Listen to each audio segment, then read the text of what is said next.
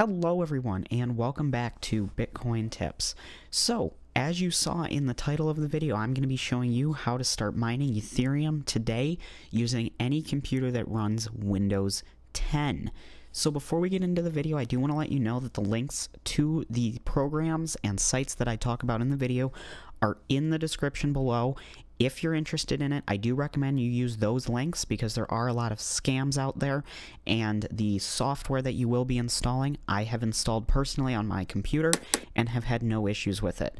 So, make sure you use those links. I do not get any kind of bonuses or anything from them, but just to make sure you get the right programs and no phishing or virus programs, I would use those links. Also, before we get into the video, I've noticed a large number of you are not subscribed to the channel, so make sure you hit that subscribe button and click the bell icon to receive post notifications for whenever we upload a video here on Bitcoin Tips. And finally, I want to say a huge thank you to James P. He is our paid member here on Bitcoin Tips, making videos like this about mining and physical hardware a lot more possible through the small donation to the channel. So thank you to James P. So let's get into the video today. So, as you can see, Ethereum, number two cryptocurrency on the coin market cap, today it's up 0.48%. The last seven days, 63.4%. That is a huge increase over the last seven days. Um, that's over half its money has doubled if you had some Ethereum. So it's 1200 over $1,200 right now. And as you can see, Bitcoin, 38,000, almost 39,000 pretty much good rule of thumb is if Bitcoin's going to keep going up, so is Ethereum, so is the other cryptocurrencies. But with this increase in Bitcoin and this increase in Ethereum, a lot more people have started to want to be a part of cryptocurrency and mine. So I've done a few videos um, over the last couple weeks about mining. I personally mine using Hive OS. Um, I've shown how to start mining in five minutes using uh, a program called NiceHash, which is a free mining program. But with that being said, this video is going to show you how you can mine Ethereum using a Ethereum pool and a specific miner, not using a third-party program like NiceHash or HiveOS. Um, this is a really good solution if you want to have more control over what you're mining and how you're mining it than using NiceHash but also don't want to install a full operating system. So I think this is the perfect in between, um, and it does get you into crypto mining a little bit more. So before we get into setting up the miner, what I do want to let you know is to do this, you do have to have a Ethereum wallet. So for the purposes of this video, I'm going to use my Atomic wallet. Uh, it's a free open source wallet that you can use to um, store your cryptocurrency. So I'm going to go ahead and just pull up the Ethereum page here, and you can see I do have zero Ethereum right now. Uh, just bring up the address. Uh, you will need this later, so I do recommend that you get a Ethereum wallet, whether it's Atomic, Exodus, or something like MetaMask or Crypto.com. As long as you have a valid Ethereum address, that's all you need. So we have this here for later, but what we're going to go ahead now and do is go to the GitHub for LOL Miner. Now, this is the program that I've chosen to kind of show off. There's a ton of miners out there. This one was just updated yesterday, so it's got uh, pretty much the best of the best right now. They do release updates all the time for it. And like I said at the beginning, the link to this GitHub is in the description below. This is the official GitHub. The link I used, this one right here, now I did download this prior to the start of the video, so I have the files here. Um, what you have to do is you will get, get a zip file, just extract it using whatever extraction tool you like, WinRAR, um, anything like that, or just the built-in one in Windows 10. And once you get the files, you're going to see all of these things here. Um, mine ETC, mine BTG, mine Bit2, Beam, uh, all of this stuff. So we're going to be focusing on mine ETH. That's going to be the one I talk about today. Now, with that being said, you'll see right here below it is mine ETH 4G. If you have a graphics card that has less 4 gigabytes of memory or less, you're going to want to use this one here. Anything above 4 gigabytes, mine ETH will be perfect for you. I currently have in my computer a GeForce GTX 1660 Ti, which does have 6 gigs of video memory, so I will be using the Mine ETH for this video. So let's get into the next step here. You can see I'm getting some comments, but uh, let's get into the next step. So what you have to do here is double click the Mine ETH and you're going to get this pop up here, Windows protected your PC you're going to get this notification because mining programs like LOL Miner, NiceHash, things like that are flagged by almost every antivirus software because a lot of viruses and programs that install on your computer for viruses use your hardware to make money. And that's exactly what we're doing here, but the only difference is you're making the money, not some hacker or virus guy who just infected your computer. So, like I said, if you use the link below or got to this GitHub in a different way, this is a 100% safe program. So all you have to do is click the more info and say run anyway. Now, you get this kind of uh, screen here. This is what it'll look like, which we'll come back to in just a minute. Okay, so I close that out because I don't want it running with the uh, video recording in the background right now, but um, what you're going to go ahead and do is instead of double clicking to open it, right click and say edit.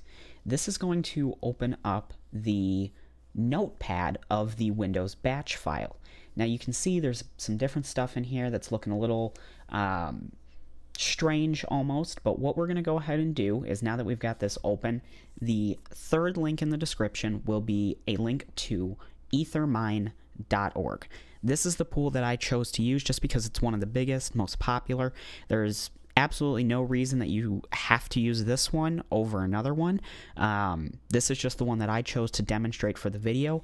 The process that I show you over the next couple steps of setting up the file is going to be almost identical for any pool that you use. So if you did decide to use Ethermine, you'll just come up here and click Start Mining. And here you can see we have a couple different options. So you can choose where you are. I'll go ahead and use the US 1 East, copy that and bring this back up. Here you can see this is the pool. So we're going to go ahead and paste this in right there. And then wallet address, this is where you're going to need the wallet address for the miner. So this is where we go ahead and copy this and you can set your wallet right here. So that's the wallet address from my Atomic wallet. And as you can see here, there's some other stuff here, the Stratum port 4444. We can go ahead and just put that in to avoid any issues. So that would be a colon and then 4444. And we have our wallet. This does not call for any of the login information. So the, uh, as you can see, username is just the wallet address, which if we go back to here, wallet address, that's what that is. And then here there is no password for the pool, just leave it empty. So just like that, what you go ahead and do is say file save.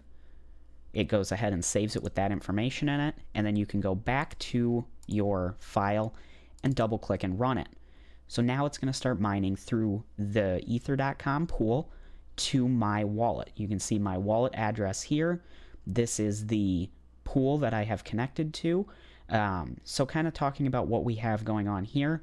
When it says new job received, this is a new uh, kind of equation coming in that's part of the Ethereum uh, mining program and the mining algorithm. So as you can see, each one's kind of going through um, as new jobs come in. And right now you can see that my average speed, it is getting up there still, is 12.02 mega hashes. So it's going to continue running here, just making sure that we don't crash anything with the recording still going, because as you can see, the GPU is currently 100% used. Now remember, I am recording the video as well, but you can see that this is going to use your GPU quite a bit. So this is something that you would want to do when you're not gaming, not making videos, whatever you do with your computer. You don't really want to be doing two things at once if you're mining. So when I was talking there, you can see I found a share. It was accepted, which means I've helped this pool get closer to solving a block. As you can see, I just got another one, um, and I've gotten up to 21.86 megahashes of my average over the last 30 seconds. So that should hopefully update here pretty soon. And you can see we're up to about 21.91, which is probably about where I'm going to be between 20 and 23 megahashes for this one card. Um, but again, you can see 100% usage. And at this point, all you have to do is go ahead and just forget about it.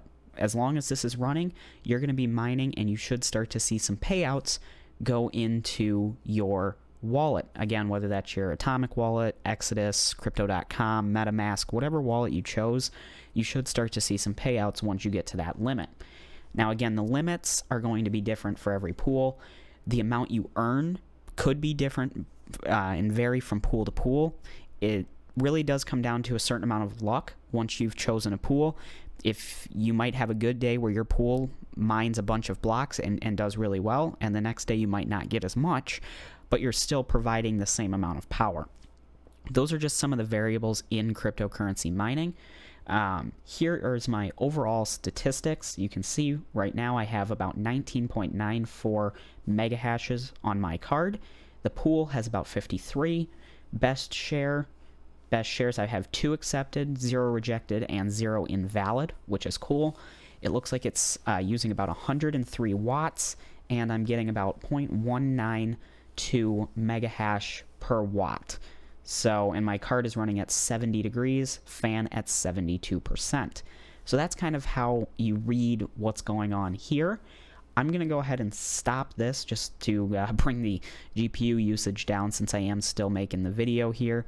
It doesn't look like we caused any issues, but who knows. okay, so now that I got that stopped here, you can see that there's a bunch of other coins that you can mine in here. Um, Again, the process to setting up each one of these files is going to be very similar. Once you find a pool, you'll just have to enter in the pool address, if it requires a username and password, and the Stratum port. So these are all for different kinds of coins, but overall, like if you were to look and see what the mine for 4 gigabyte one, it's going to look very, very similar. Now again, you just got to find the right pool. We'll say, let's see, Beam is another popular one. So the files overall look pretty similar you just have to put in the right information for the pool, the wallet, and then if the uh, username or pool address and all that are different, then you'll have to edit these here, but most of the time it will just be your wallet address. So hopefully you guys have found this video helpful to start mining Ethereum using Windows 10, um, not through a program like NiceHash or HiveOS or anything like that. Um, this is, like I said, the next step up, in my opinion, from something like MinerGate or NiceHash because it gives you a lot more control over what you're doing. You can switch pools very easily, whereas with NiceHash, you're pretty much tied to their pools. Um, and then from this point on, you can use a program like MSI Afterburner to do some overclocking. Now, of course, be careful with overclocking. If you don't know what you're doing, I would stay away from it altogether because you can overclock too much and kill your hardware. As always with mining, make sure you have adequate cooling, adequate power, and that you just kind of keep an eye on it, especially when you're first starting off. You don't want to get things too hot. You don't want to have things pulling too much power. Um, it can harm your hardware and most likely will shorten lifespan. So that is something to think about. Um, on my mining computer, I recommend my personal uh, settings are at least having the fan up around 75 to 80% speed to keep everything at a reasonable temperature of about 60 to 70 degrees Celsius, which is still really hot. So always make sure you're looking into the limits, power limits, and temperature limits of all your hardware before getting into this. But other than that, if you like this video, leave a like. If you didn't, leave a dislike and let me know why you didn't like it down in the comments below. And if you have any questions or comments about mining or cryptocurrency in general, leave a comment down below or check out the Discord at the link in the description below. We've got over 2,000 people talking about all things cryptocurrency, so there's a lot of people over there who will definitely be happy to help you with any questions. So please like, share, and subscribe to my Bitcoin Tips YouTube channel to learn more about spending, collecting, earning, and investing different types of cryptocurrencies. I hope you enjoyed, and I hope to see you in my next video. Bye.